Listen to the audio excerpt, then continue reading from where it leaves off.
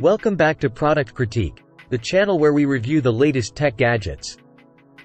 Today, we're diving into the world of high-end wireless headphones with Dali's new IO 12. Let's see if these headphones live up to their audio pedigree. When it comes to wireless headphones, there are premium options and then there are high-end options. Dali's IO 12 aims to take sound quality to the next level. Joining the ranks of other pricier headphones like the Apple AirPods Max, Focal Bathys, and Mark Levinson number 5909. Dali is no stranger to the wireless headphone market, with previous models like the IO4 and IO6. But the IO12 sets out to make a splash in the pricier segment of the market. One unique feature is the integration of Dali's patented soft magnetic compound technology, typically found in their high-end speakers. This technology reduces distortion and delivers a clearer sound. Design-wise, the IO12 headphones feature a large 50mm driver with a paper fiber cone to minimize distortion. The square-shaped earpads and luxurious leather covering provide a comfortable and premium feel. Dali's attention to detail is evident, with subtle design elements like a bump on the earpads to ensure a proper seal and minimize sound leakage. Connectivity options are abundant with the IO12.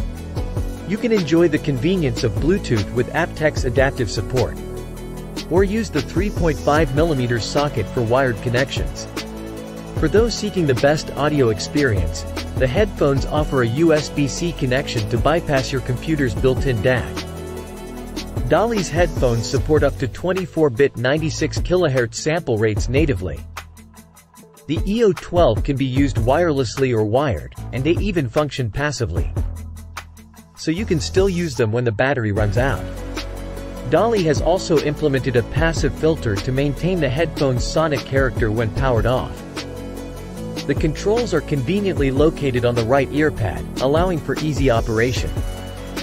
In terms of battery life, the IO12 impresses with up to 35 hours of playback time, outperforming some competing models in this price range. During our brief time with the headphones, we tested them with Billie Eilish's Bad Guy and the XX's On Hold, and the sound quality was clear, spacious, and detailed. The IO12 also offers noise-canceling capabilities, which performed well in our limited experience at the high-end Munich show. Dali has incorporated ANC technology similar to Sony's latest headphones. So we have high expectations for its performance. While we need more time for a comprehensive review, it's exciting to see Dali enter the high-end wireless headphone space. Based on our initial impressions, the IO12 exhibits a level of refinement and maturity in sound that surpasses entry-level wireless headphones. That concludes our first look at Dali's IO12 wireless headphones. Stay tuned for our official review where we'll dive deeper into their performance. If you found this video helpful, don't forget to give it a thumbs up. And subscribe to our channel for more tech reviews. This is Product Critique, signing off.